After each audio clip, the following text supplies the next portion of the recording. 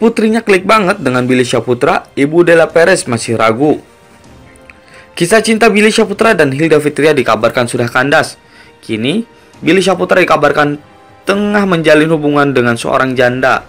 Bukan Angel Ali, Billy Syaputra dikabarkan dekat dengan adik mendiang Julia Perez, yaitu Della Perez.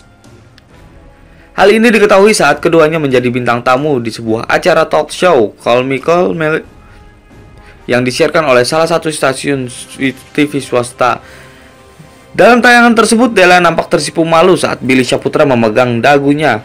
Della juga mengakui bahwa Billy Syaputra merupakan tipe pria yang disukainya.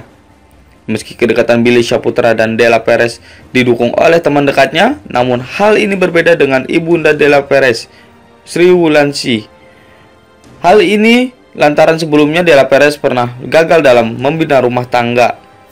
Sebagai seorang ibu, Sri Wulansi berpesan kepada Della Perez untuk berhati-hati dalam memilih pasangan hidup.